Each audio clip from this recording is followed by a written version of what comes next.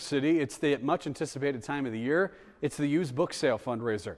Joey Taylor joins us in Great Falls tonight with what makes this year's sale a little different from years past and why library officials say you should go to the sale not once, but twice.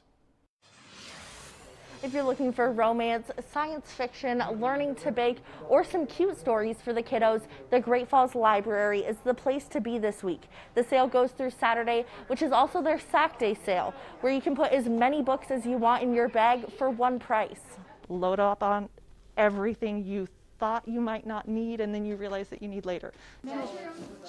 Every year, two organizations put on separate book sales. This year, Friends of the Library and the American Association of University Women teamed up for a joint book sale since COVID changed their plans from 2020.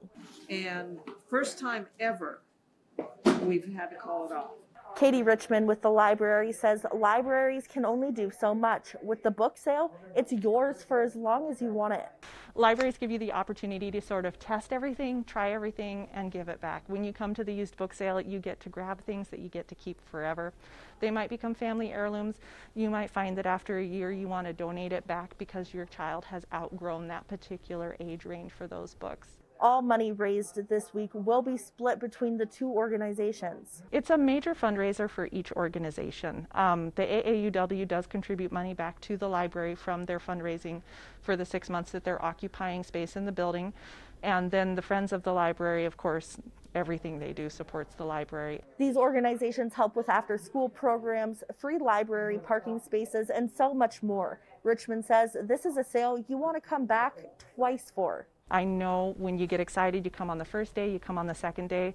Absolutely, come back a second time because once a few things have been cleared out, you're going to see the treasures that you missed the first time around.